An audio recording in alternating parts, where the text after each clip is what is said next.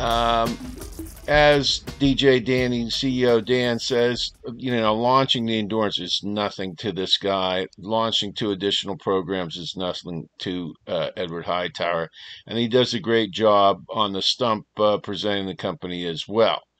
Uh, I think people are overlooking, uh, you know, he's a power player. Anyway, uh, these decks are pretty familiar. The idea here is this joint venture Everyone's talking about the joint venture. Everyone's waiting for the joint venture. What the heck is the joint venture? I wanted to know myself. So I went over, I, I wanted to know how this was going to work. So I went over this myself, and let me just uh, share this with you uh, what's going on. Now, this, again, these slides here are reminiscent of the quarterly call, and we're going to get into the joint venture here. Uh, Lordstown Motors partnership with Foxconn would. So they're they're this is an SEC filing, not saying will, would, provided it is signed and passes muster with CFIUS, would support the EV ambitions of both companies, creating synergies in vehicle development, sourcing, and manufacturing. Um, they go over some basic stuff here. Uh, North American EV con, you know, we know about the plant, we know about the MIH pro, pro uh, vehicle development, and we know about uh, global sourcing. So these are the things that uh, are coming together in this joint venture. Let's just move on to the next slide here. Now, I already said something about Hightower. Uh, Dan Ninivaggi don't let the smile on the Woody Allen glasses fool you. This guy is, I'm sure, playing a major role behind this strategy. And he is a heavyweight New York money guy. He's an apex predator. He's a big, big time public corporation operator. This guy, you know, there's probably, what, a hundred people in the world that have his skill set. Okay, Hightower, I've already mentioned. Adam Kroll, I have not looked at in detail, but uh, I'm sure if Dan Ninivaggi uh, picked him as CE, uh, CFO, that he has confidence in him, and certainly uh, Dan Ninivaggi is qualified to approve a CFO appointment. Uh, Parsons and Leonard are both Lordstown Motors OGs, and they know where all the bodies are buried. They know the history of the company. They know the history of this transaction. So they're also very important uh, to this plan. But I just wanted to make a point here about Dan Ninivaggi. Um, he is uh, a heavyweight, as is Hightower. So we have some major players. Again, Hightower. You know, I you know do a 100 people in the in the world have his experience? Probably maybe a 100 okay? Um, both of these guys are uh, top of their game top of their experience uh, top of their uh, industry skill sets. Now we've got these principles here. We've seen all this. This is boring. Accelerate ev adoption. This is from the report the product. We are familiar with the Endurance. Just one word about the Endurance. We all know about the hub motors, and the hub motors have a lot to do with uh, customer satisfaction and performance and everything. I think from the point of Foxconn and from the point of investors, it's the manufacturability of the hub motors. Uh, lowering the bill of materials items, lowering the cost of the bill of materials, making the product easier to manufacture, making the product lower cost to manufacture. This is the real advantage of the hub motors. Now the hub motors are slightly more expensive are more expensive, I think slightly more expensive than the inline motors that are offered now in other EVs, but they're also not at mass production. And also you got to take over the total cost of using a hub motor versus an inline motor or an internal motor. Takes one guy five minutes to put this on on the assembly line. There's one station. There's nothing there. They do connections. They bolt it on. With an inline motor, you have, and by the way, there's two parts. That's it the stator and the rotor.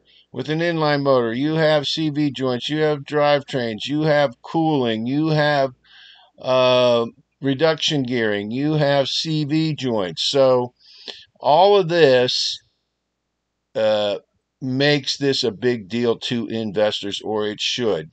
Uh, as an investor, you should look at this as being the simplest way, the cheapest, the most efficient way to manufacture an electric vehicle. Let's say electric vehicle drivetrain. Uh, perhaps Tesla has with its massive castings uh, for the body, but definitely for the drivetrain. As I said, if these were available when Tesla was being founded, he would have used them. Let's just move on. Made that point. Now, the Endurance is a fleet first vehicle. It's a bespoke tool for work. You know, the uh, Ford F 150 Lightning, in my opinion, is not a work truck. And uh, there are a lot of fragile components, including the suspension. And the outlets they have provided in the different locations are fragile. Um, you know, this that is a grocery getter. This is a tool for work. This is a rugged truck. This is a real truck. Okay. So let's just not overlook this. And these are the other points which have been made many times before. Um, we're going to get into software uh, a little later. But uh, again, the Endurance is a work truck. I think that fleet users are going to recognize this. And I think consumers that want a real truck are going to recognize this too. Um, this is the hub motor. We all know about the hub motor, how it works. Again, this is the manufacturing process. You got bearing, stator, rotor. That's it. You got three parts here. Okay? In on each wheel okay, as opposed to motor, axle, CV joint, drive gearing, oil pump, blah, blah, blah, okay? This is what we're looking at here. This is the manufacturability that Foxconn likes and that we as investors like because it lowers the cost of manufacturing. It lowers the bill of materials list count. It lowers the bill of materials cost. It lowers manufacturing costs it simplifies the production line. So many advantages. Okay, again, we've all gone through the specifics of the endurance. I'm not going to belabor that here. Now, this is the thing Endurance will offer advanced fleet, management software solutions, cybersecurity, and connected vehicle features. You got to understand, Steve Burns is a software guy, was a software guy. Steve Burns invented Siri. You know your Apple phone, Siri? He invented Siri. People are going to argue with me about that. Look it up. But he's a software guy, and he started from the very beginning working on the software. When Rivian announced its tank turn, Steve Burns said, Yeah, we could do a tank turn. It's a clown show we're more more worried about getting a uh, drive system in place that's going to work if one of the motors fails at high speed. So he has been into the fleet management software for a long time. Um, this is a couple things here. We're going to have expansive vehicle operation data catalog. So they're going to be collecting data. This is the app. This is the dashboard for the fleet metrics. It's going to track all of you know where the trucks go, how fast they go, and so forth. This also, a la Tesla, is going to be a self-driving data feed. This is going to be for the AI fine tuning, uh, the self-driving of Foxconn of the MIH program. Okay? So just to give you an idea about that. And again, LMC Cloud is the Foxconn uh, Wisconsin. Uh, under this joint venture would be the Foxconn Wisconsin uh, location. But uh, this is this is something that's going to happen with this joint venture. Now, I just wanted to say these are some of the things that have been listed. Now, these are planned connected vehicle features. Okay. And I have done two videos on what I believe the consumer version of this truck is going to be. And this would be the Endurance and Foxtron com- consumer version. Now, this these are listed as fleet vehicles uh, right now. But let me just tell you some of these software things that I believe are going to uh, be announced uh, in the consumer model, which is going to follow shortly after the fleet model, in my opinion, of the Endurance and the Foxtron International model. Uh, fleet dashboard with live vehicle tracking. We already discussed that. Yeah, you know, inside the uh, vehicle, we're going to have charge locations, uh, charge locations availability, and these are consumer features that are offered here. Uh, remote preconditioning, over the air software, remote door lock and unlock, uh, geofencing uh, alerts, uh, ability to reserve a charge location, integrated payment for charging, a trip planner, uh, a charge scheduling app. Okay, you can see these are, in my opinion, consumer oriented features which the president of Lordstown is putting in place. Keyless entry, video streaming, okay, and all the other things that you uh, notice here uh, that are kind of uh, de rigueur now. Uh, uh, one comment had mentioned limp mode. Limp mode is uh, what you use because this truck can drive on one motor, no problem, and that would be limp mode. So if there's a massive breakdown, that's what limp mode's all about. I just wanted to make the point here that uh, they are making their plans are to make this vehicle I believe self driving and a data collection point for self driving programs. And I do believe the plan here is for a consumer release and also a really crackerjack fleet vehicle, which the governor is going to be taking off. And we can add these features to my previous two videos on the features of the consumer model of the Endurance which is a direct competitor with the Ford Lightning XLT, and it's the same price and a better truck. And capabilities here. Now, I just, this is joint production uh, agreement. Uh, this is what they're talking about. Now, now, as my understanding of this joint venture is, Okay, these are just some uh, macro topics that are going to influence this uh, uh, joint venture as well. Biden should punish uh, Saudi Arabia for backing Russia.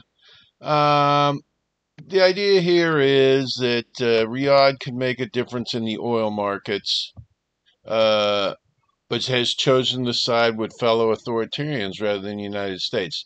This means they're going to limit their supply of oil, crude, uh, keeping prices up so that any sanctions uh, against Putin are going to be muted.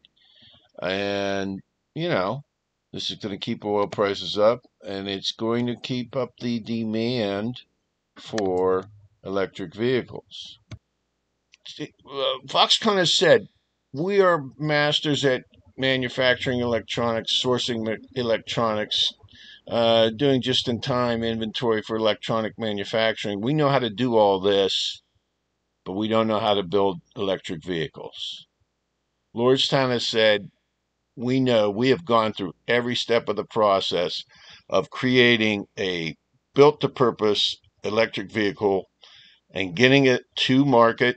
We're now at the market stage, at production stage. We know how to do this. Specifically, with electric vehicles. So these are the services that Lordstown is going to provide under this agreement. Um, planning and program management, and this is uh, again the president's bailiwick here uh, planning, market segment specification, vehicle development, program timing, target setting, deliverables, business case, launch management. This is all high Hightower's stuff here. This is getting a disciplined program in place to design, to research, develop, design, and implement an electric vehicle. Uh, this moves from the program management step to the creative design. Uh, again, this is something Lordstown knows how to do. Uh, modeling, rendering, packaging, you know, engineering. Uh, so, uh, you know, this this these are skills that Foxconn lacks. When they get to engineering, also Lordstown. By the way, Lordstown has 600 employees. I think people are overlooking that, or they did. I imagine a lot of them are working at Fox right now, but all these engineering people are Lordstown people. And by the way, Lordstown has reserved a 90 acre site of raw land at the Lordstown plant, I believe, for a future uh, building that will house their engineering and design facility. Um, okay, now they got the engineering. And again, this is purpose built EV engineering. This is not OEM modified to do battery electric vehicles. This is from scratch electric vehicles. Not many people have this experience or do it well. And I believe the uh, Endurance is going to show a, a well made vehicle. Vehicle components, subsystem, propulsion, chap- uh, chassis, thermal interior, safety body.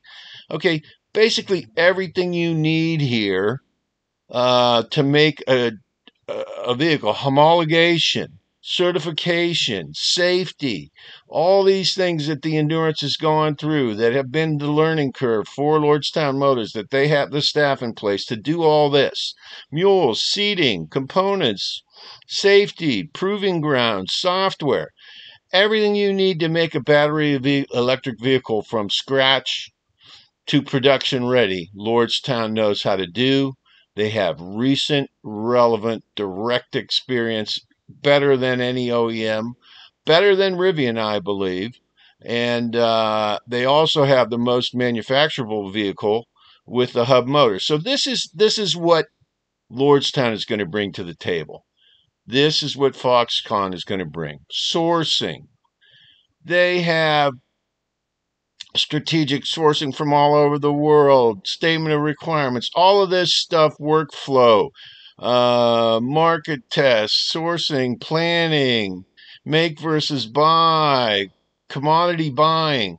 All this is the ballywick of, of Foxconn. They have all of this in place for what they're doing already.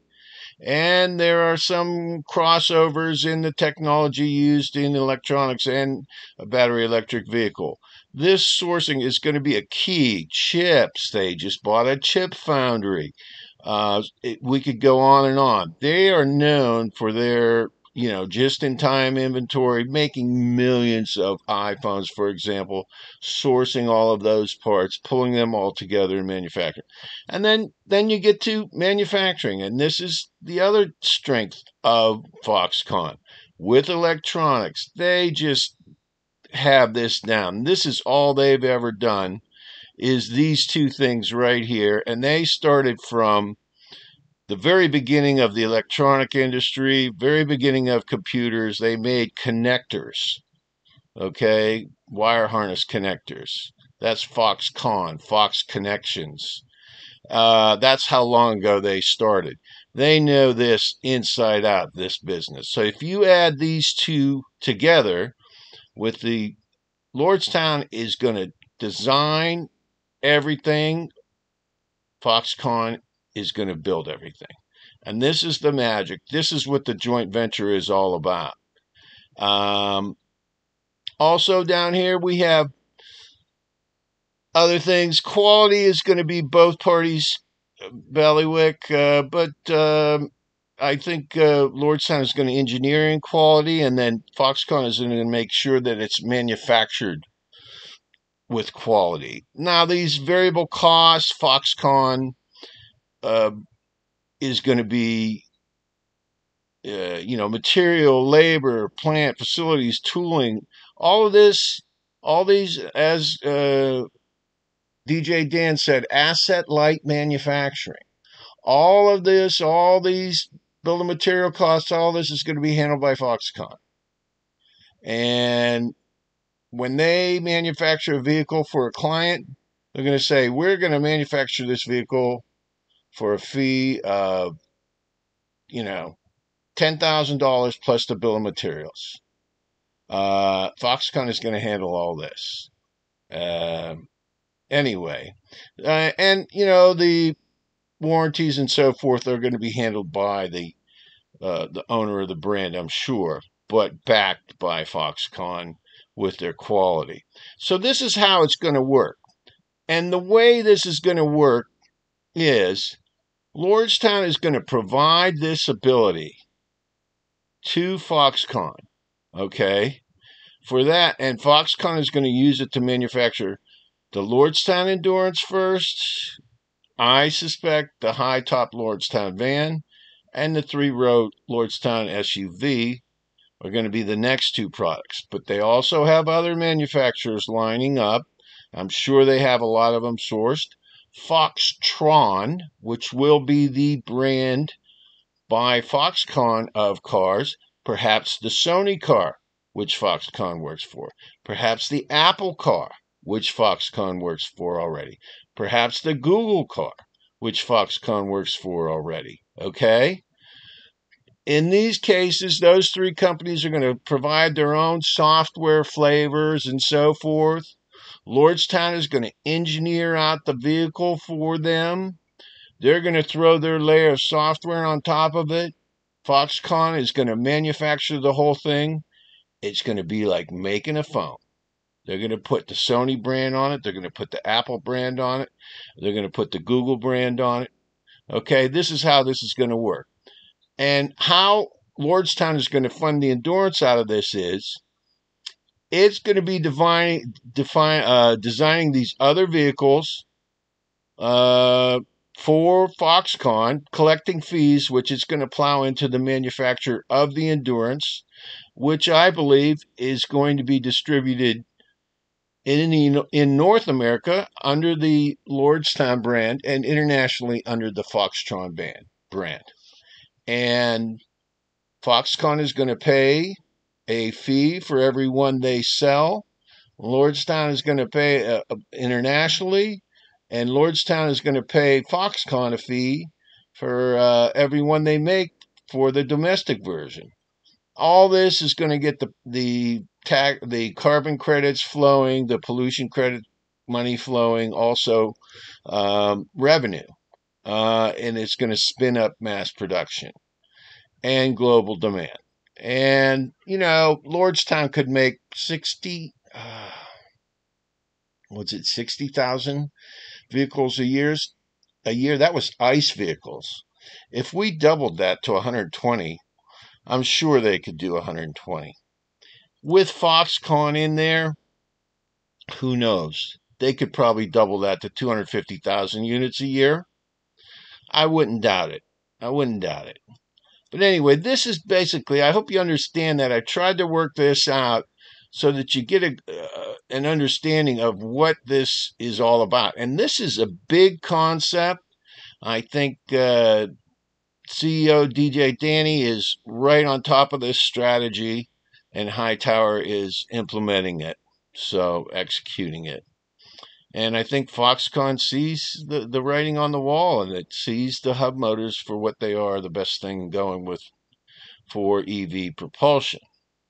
Now, if we just go through this, uh, cross functional organization can engineer and deliver EV programs for multiple OEMs along with subsystems and components. Subsystems and components, I think, is a key word for hub motors and their associated systems. Anyway, again, this is the Lordstown end of this. These are all the engineering functions and uh, body and interior and propulsion and all of the uh, engineering work that goes through homologation, design, commercialization, program management. This is the Lordstown side. Then you get over here. This is the Foxconn side purchasing, advanced manufacturing, quality control, uh, marketing, voice of the computer, uh, consumer, and uh, finance. Uh, I think maybe Fox, uh, maybe Lordstown will have a bit to do with this, but maybe not. Perhaps Foxconn is going to just uh, they, they know what their what their customers are wanting. So, but anyway, the point is these are how the duties are going to split up, and this is how this marriage is going to work. And it and and I do think it's a two plus two equals five equation in my book. And uh, it's putting this manufacturing power of Foxconn and along with Lordstown's battery BEV experience and and they have it. They have the chops. They have the product. Foxconn has the chops. They have the sources. I mean this this can all work.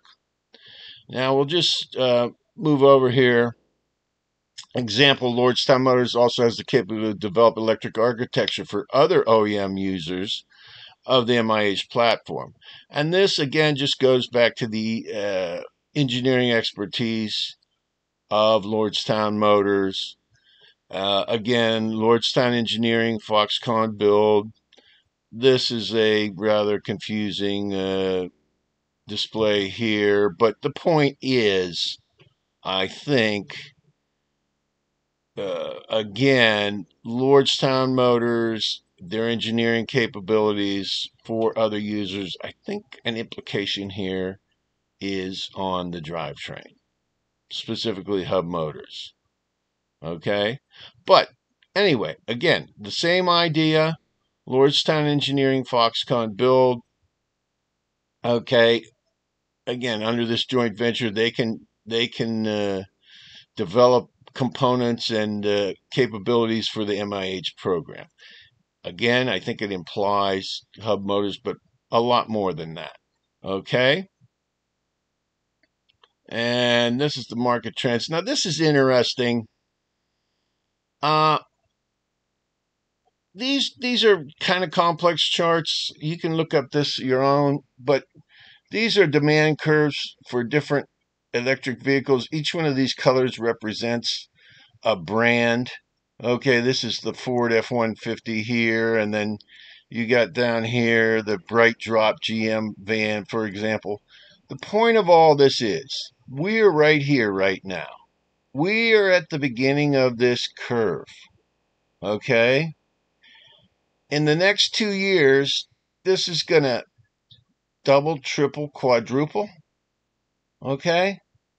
The same thing here we're right here now for, for the vans. What are the vans going to do? If we're right here now, the vans are going to one, two, three, probably triple. So now is the time to strike before the competition grows market share. And this is exactly what the CEO of Foxconn said. We want to move quickly to establish market share before our competitors do. This is what Lordstown can do. This high top van is completely engineered at Lordstown. They have the stamping dies for the body panels already in a soft mold. I'm sure they're talking about retooling, and I'm sure some of the retooling was making the hard steel stamping molds for this van. This van under Lordstown Motors is ready to go. And that could, again, be distributed in the United States under the Lordstown Motors brand and under the Foxconn, Foxtron brand uh, uh, internationally. So I think this is a telltale exactly what's going to happen. And there's a three row SUV based on the, uh, you know, the Lordstown Motors military vehicle was a preview of that. But this just gives you an idea of how all this fits into the market and into Foxconn's uh, uh, strategy. Um, again, uh, St- uh, Steve Burns was a software guy, okay, and uh, MIH is very heavily software oriented. You put the two of them together. These this chart you can review on your own, but we're looking for the 4.0 vehicle. Lordstown Vehicle Design. You got the Foxconn, Wisconsin Cloud Center. It's going to service probably the whole planet. Okay? What this is all coming down to is self driving. and 5G. And 5G connect- connectivity to the cloud and self driving. And Lordstown, again, Steve Burns, uh, a software guy, founded the company with a heavy emphasis on software. He's a software guy first. This is what it's all about as well. Uh, and evolution from functions to services. Okay. And that service is going to be self driving, and that is going to be the Foxconn Wisconsin Center. And the Lordstown Vehicle Design is going to design the vehicles. They're going to use MIH and other software from Lordstown, and it's all going to flow through the Foxconn Wisconsin Center. That is my opinion. Um, and again, this is this is an elaboration uh, of that same idea, self-driving. Okay, I think that this is a goal of this uh, company, and it's a goal to apply the self-driving to the fleet vehicles. Imagine that delivery, all automated. Okay. Now, just to close this out, uh, they're talking about supply chain localization. There's already been an infrastructure of suppliers built around this Lordstown plant, which uh, can be revitalized. They can get all the parts they need there. There's rail spurs, there's so forth. I just wanted to point out this is where Lordstown is. You can go through the Great Lakes. You can go out. Boom, you're in Europe. You can go over here. You can go by rail. Go to the other coast. Boom, you're in Asia. Okay. You can go down here. Go down south. Boom, South America. You can go down here. You can go down to. Uh, uh, okay, this is the second factor. Apple supplier Foxconn suspends production at two China factories. SMC reports. Um, the idea is that uh, this is on Tesla here. Anyway, uh, Foxconn has managed to shift this production elsewhere. However, it is in the favor of opening up BEV manufacturing in the United States so that they do not have to deal uh, with these COVID factors anyway, those are a couple of macro um, factors that could uh, affect this uh, joint venture as well in favor of the joint venture. Uh, Florida, right? Where you want to go? You want to go to the Middle East? You want to go to uh, wherever, the Caribbean? The point is, this plant was located at this location. It wasn't an accident. It's located there. It's at a nexus it can serve all these markets and all these uh, USA markets. It's at the at the intersection of some major highways, rail spurs. Uh, water is not far, 60 minutes away. Um, if they want to go to the Great Lakes and so forth. So this is a killer setup.